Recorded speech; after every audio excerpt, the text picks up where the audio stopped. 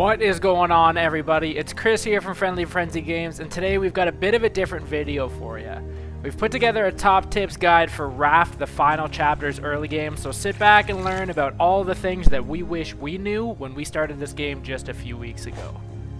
The majority of these tips took us over 10 hours of gameplay to figure out, maybe even longer, so if you're interested or stuck, this is going to save you a lot of unnecessary and unguided grinding to get you started off on the right foot and put you in the right direction.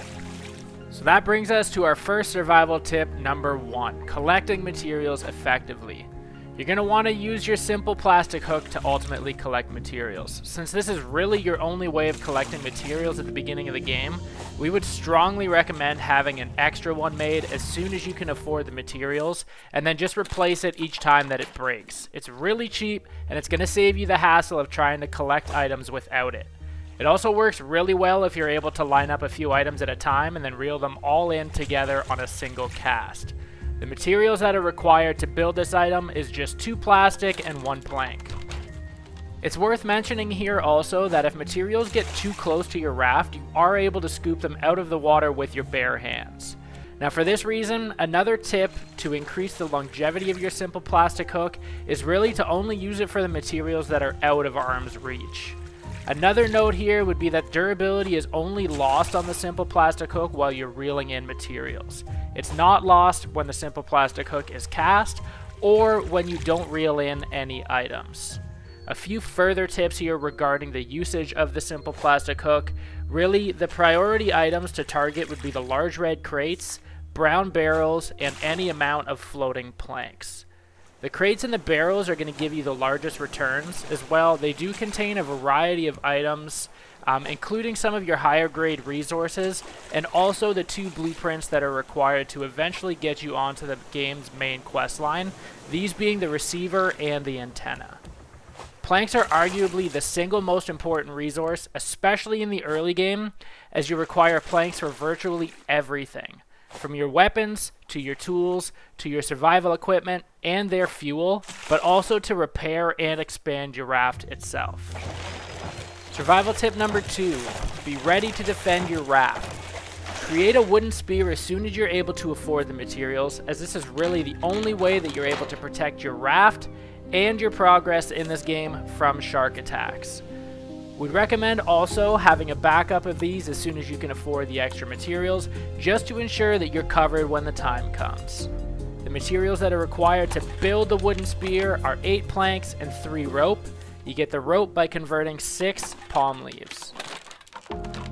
One other note here about eventually killing the shark is that we've noticed if you don't completely loot it, it takes longer to respawn this buys you more time to get things done without having to worry about fending off any unwanted attacks. It usually takes about 4 seconds to loot 4 flanks of raw shark meat, and the last item that you can get from um, the shark here is a wearable vanity item of a shark head. If you don't collect this item, on the 5th second, his body will lay there for some time before it despawns, and then finally respawning the shark. Our third survival tip for Raft the final chapter would be to expand your raft early. Now this is going to get expensive, especially when electing to use sturdier solid wood panels, but we think it's worth the investment up front to help prolong the life of your raft so that you're able to focus on some other things. To do this, you first need to craft the build hammer. The materials required to build the build hammer, you need 4 plank and 2 rope, and again, to get the rope, you're going to need to convert four palm leaves. Now we would recommend converting the existing wood panels that you start with on your raft to solid wood panels from the build hammer options menu under repairs. The materials that are required to do this are three planks and three plastic per tile. Once this is done, you can begin expanding the size of your raft using the solid wood panels as desired. This is going to be the same material requirement as switching your existing wood panels to solid wood panels at 3 planks and 3 plastic per tile. Now you are going to need some room on your raft to begin crafting the equipment that's going to allow you to survive and progress, so we definitely recommend to focus on upgrading your raft towards the beginning of the game. Not only that, but this is also going to allow your raft to cover more area in the water so that you're more easily able to increase the reach of your hands and simple plastic hook to better reach materials that are floating in the water. Survival tip number four would be to repair often. Ensure that after each shark attack, you have at least two planks on hand to be able to make repairs to the damaged raft tile. This is ultimately going to buy you some time and save you materials when fending off a repeat shark attack on that same tile. If you lose a tile completely, this will remove any machinery that's currently living on that tile, and the tiles are much more expensive to rebuild outright as opposed to repairing. To complete your repairs, all you need to do is use the build hammer and use the repair option in the last menu. The materials that are required to repair is simply one plank to repair 50% or two planks to completely repair any existing tiles. Our fifth survival tip for raft, thirst before hunger. Because your thirst is very likely to deplete first, and since you're not going to be able to find any drinkable items in barrels or crates that you're collecting from the water, our next tip for early game survival in Raft would be to craft a simple purifier and place it towards the middle of your raft. This is going to protect it from being lost if the shark destroys an entire floor panel on one of its attacks. The materials required to complete this craft would be 6 planks, 6 palm leaves, and 4 plastic. Survival tip number 6, drink fresh water only. Now to utilize the simple purifier that you've just crafted, you will need to craft a cup, and this is going to allow you to scoop salt water from the ocean and pour it into the purifier to convert it to drinkable fresh water. Materials required for the cup, simply four plastic. Once the cup is created and the salt water has been added to the purifier, you'll need to add planks to have the fire start. Now this is going to begin the cooking and converting process. If you notice in your hotbar that the cup has greenish water coming out of it, that means it's full of seawater. Don't drink this because it's going to further deplete your thirst. Once you've collected the fresh water from the simple purifier, you'll notice now that there is a light blue kind of color water coming out of the cup. Drinking this is going to provide a large boost to your thirst vitals. Survival tip 7. Address your hunger. Since your thirst vitals are now looked after, the best way in the early game to address hunger needs is to craft the simple grill and cook the fish that you catch and the vegetables that you collect. Now you can eat raw potatoes and beets to keep you alive, but cooking them on a simple grill makes them much more nutritious for you to consume. The materials required for this grill, you need 6 planks, 1 scrap, and 3 rope. Again, you need to convert six palm leaves for your three rope. Survival tip number eight piggybacks on our last survival tip, and it's fish as an ideal food source. So on the topic of fishing, you will need to craft a fishing rod. For this tip, we would recommend that you create this tool after you've set up your grill as you can eat many different items to stay alive without needing to fish. However, we've learned, especially in the early game, that devoting time to catching raw fish and then cooking them on the grill is much more efficient than farming and consuming vegetables. For your fishing rod, the materials that are required to create this item, you need 6 planks and 8 rope. Again, for 8 rope, you need to convert 16 palm leaves.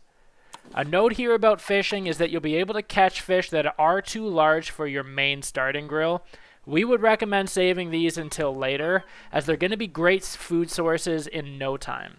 These fish would include catfish and salmon, but the fish that you're able to cook right away are pomfret, mackerel, herring, and tilapia. Our next tip, survival tip number 9, is always be cooking. To make the most efficient use of your time, continue placing planks into your purifier and grill to ensure that they are remaining operational. Whether you're sailing through and collecting materials or simply exploring, keeping some salt water in your purifier and some fish on the grill will allow you to constantly have food items to eat and drink. This is especially important since these since these items don't spoil, you can store them if necessary until you're needing to use them to restore your vitals. Survival tip number 10 is to multitask while fishing. Another tip that we have in relation to fishing would be that you're able to move around while you're on the raft or island and while you've got your line casted. This is going to make it that you're able to collect items within arm's reach while your line is casted, so be sure to make the most of these actions while you're dedicating time to fishing. We've also noticed that more often than not, if you are anchored on an island, typically fishing from the coast as opposed to your raft allows for uninterrupted fishing time as the shark very rarely attacks your raft while it's unattended. This is really a great way to focus on a single task without having to bounce back and forth between fishing and having to fend off shark attacks. Tip number 11 is for hotbar management. By now, your hotbar is likely filling up with a bunch of tools, ingredients, and so on. We try to only keep one of each tool in our hotbar at a time, as well as keeping our inventory organized with materials so that you're able to use them to craft whether they're in your hotbar or inventory.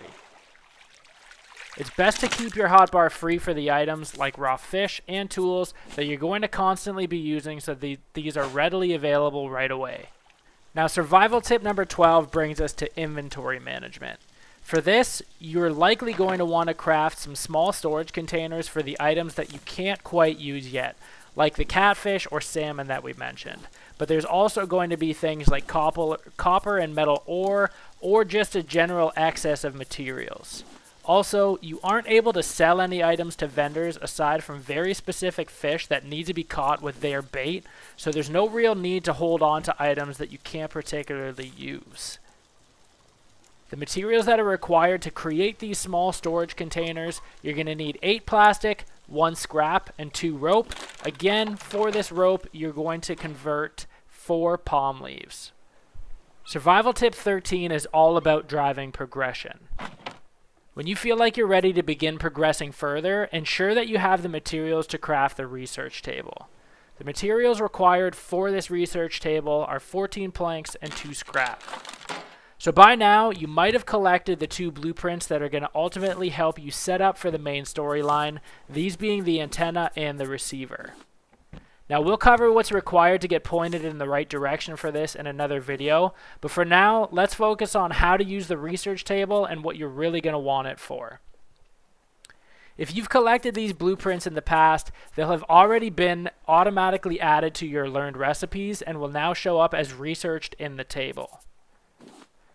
You can now discard these blueprints since they have no further use. Really, what you're going to want to do now with this table is to put in all of the raw materials that you have, one at a time, so that you're able to research the recipes that each one helps you to make. If you've researched all of the required materials for a recipe, it's going to give you the option to learn it, and then this makes it craftable for you in the future, so long as you have all of the required materials. Early resources in the game that you're able to research at this table would include things like planks, your plastic, palm leaves, rope, stone, scrap, and nails, but then also some of your higher grade materials that you might have found while exploring some areas. Things like vine goo, hinges, bolts, and or copper and metal ingots. An important note here is that researching the item will consume it. However, if you put a stack of an item in, it will only consume one of that item. So for example here, if you put in 16 planks, after researching, you're going to be left with 15 that you can remove from the table and place back into your inventory. Survival tip number 14 would be to automate your material collection. So now that you've been opened up to just how many things there are to create, and that really is just the start, we would definitely suggest that you make as many simple collection nets as possible to outfit the entire perimeter of your raft. Now these are going to allow you to focus on other things as well as preserve your hook durability as the nets will automatically and passively collect the items that cross their path while your raft floats along. This increases the speed and efficiency of which you're able to generate resources for crafting. The materials required to create these nets would be 6 planks, 8 rope, so again 16 converted palm leaves, and 2 nails. You can make nails by converting 4 scrap. One additional note on these simple collection nets is that they are much weaker than your raft solid wood panels, so you do want to be extra careful and attentive when the shark is attacking. Prioritize fighting it off of these nets as they are much more costly to create than the solid wood panels and definitely less durable as well.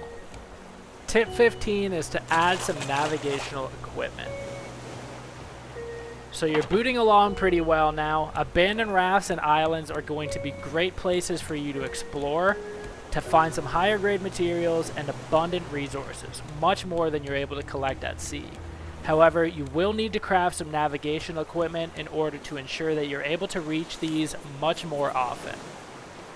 For that reason, our next tip would be to create a streamer and sail. The materials required for a streamer would be 6 planks and 3 rope, so again 6 converted palm leaves. You're also going to need 3 nails, which is going to be 6 converted scrap. Materials required for the sail, you need 10 planks, 20 palm leaves, and 3 scrap. Once you craft the streamer, this is going to allow you to clearly see the direction of the wind, and crafting the sail will help you and your raft speed through the water much faster. This also doubles as a fantastic way to steer your raft in the early game, so long as you're moving with the direction of the wind and not against it. For this though, you do need to have your sail open. Having the ability to now steer your raft makes reaching these abandoned rafts and islands much, much easier. Survival tip number 16, keep your raft in place. Another tip that's specific for exploring islands would be to craft a throwable anchor. This is going to help your raft stay in place while you head off and explore. Some of the smaller items can be explored without too much risk of your raft floating away, as it's almost always visible and you can use your sail to kind of counteract the direction of the wind, which virtually keeps it in place a lot of the time. Similarly though, you could wedge your raft against the shoreline by keeping your sail opened and in the direction of the wind. This will keep it typically um, kind of stationary long enough for you to quickly explore and hop back onto your raft before it has a chance to leave. However, there are instances where this is not the case, or you're going to arrive at a larger island that simply takes more time to explore and you can't see your raft. This is where this anchor is going to come in as a huge help. Simply equip it Equip it to an edge of your raft, and then pick it up and throw it along the shore. Be warned though, this particular anchor does need to be recrafted after each use, and it's not necessarily the cheapest. The materials required for this anchor here would be two planks, four rope, so an again another eight converted palm leaves, and four stone. Survival tip 17 is to make the most of your time exploring. Kind of goes without saying, but while exploring the islands, you are going to want to be sure that you have the essentials with you to ensure an efficient trip and collect as many materials as you possibly can. For this reason, we would recommend bringing your fishing rod if you have one, at least one simple plastic hook, and you're also going to need to create a stone axe if you haven't already. Now, if you've been following along with our tips in order, we haven't mentioned a stone axe until now. That's because it's really only good for either disassembling your raft or for kind of island exploring.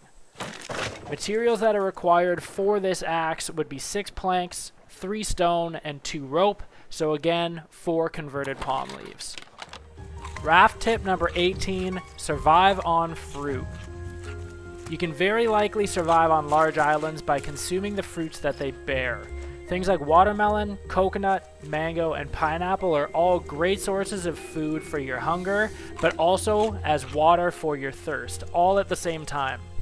We personally didn't farm too much in the early game, so we typically don't collect the watermelon, um, mango, or pineapple seeds. You can definitely feel free to either try these out or discard them in favor of other materials if you're really just eating your cooked fish. One note, however, is that the fruit seeds will require at least a medium crop plot at a minimum if you're going to look to kind of grow these on your raft. Also, palm seeds are going to require a large farm plot, and you likely won't be able to craft these anytime soon. So we personally would recommend discarding these items and using the inventory slot for more planks, scrap, or anything else that you can find while exploring these islands. Survival tip number 19 is to mine unique materials underwater. So while you're exploring islands, one of the biggest tips that we have is to make sure that you're exploring and diving using your hook to mine the seabeds for things like stone and scrap, but especially the new items that are typically only found underwater like sand, clay, copper, and metal ore. You're also able to pick up some seaweed that's eventually going to make you vine goo. This only requires, though, your hands to pick up. You also need to watch for the shark because he's going to continue kind of chipping away at your health bar as he charges you. Also, you want to make a note of your oxygen levels because once you're fully depleted, your health bar does diminish rapidly. To ensure the shark is distracted while you're diving, you could craft shark bait, but honestly, we typically just dive on the coast that's opposite of our raft and we don't usually get bothered. This has allowed us to use all of the fish that we're catching as food, rather than using rope and the fish to create bait as we typically don't have these on hand, especially of the raw variety. Survival tip 20, dry your wet bricks. So after collecting seaweed and clay from the seabed, you can research these in the research table. But you're also going to be able to craft wet bricks. So the materials required to create these wet bricks, you need two sand and two clay. Now these wet bricks themselves really aren't anything useful because you will need to dry these out before researching them at the research table, but this allows you to ultimately make the smelter. You'll need to craft a wet brick Put it into your hotbar and drop it on the floor to allow it to dry out. Now we've always placed these under a roofed area of our raft, although we aren't 100% sure whether these could be eventually dried out without needing to be covered. Rain does appear in this game, and if it's any bit realistic, that would essentially keep your wet bricks wet, unless they were set to kind of dry in a covered area, so do keep that in mind. This all brings us to our final survival tip, survival tip 21. Upgrade your tools and machinery. So once you've researched your dry bricks, our next tip, if you're looking to progress further still, is to craft the smelter. Materials required to craft the smelter, you need 4 plank, you need 6 dry brick, so this is going to be 12 sand and 12 clay, plus you need to wait for them to dry out. You need 4 scrap, you need 6 nails, which is 12 converted scrap. Now the smelter is going to allow you to create the higher grade raw materials from seaweed, copper ore, and metal ore. After placing each of these in the smelter and using planks as fuel to heat the substances, you'll receive vine goo, copper, and metal ingots. You can research each one of these materials in the research table to unlock a slew of new high-grade recipes that are really going to push you um, in your early game progression. You're really going to want to focus specifically on metal ingots to create bolts and hinges, and then research these items in the research table because you're going to unlock recipes to upgrade all of your tools to more durable and higher damage versions. From here, you're also going to be able to make the next grade of cooking equipment, which is obviously ultimate for longer survival. With all of these tips, now that you're able to create these recipes, you're essentially out of the early game and more prepared than ever to knock off exploring the game's first few questline islands. If you liked what you saw, give this video a like and drop a comment or any questions that you might have for us in our comment section. And don't forget to subscribe to Friendly Frenzy Games YouTube channel because we do have so much gaming content on there. We definitely hope to see you all in the next video. Have a great day, everybody.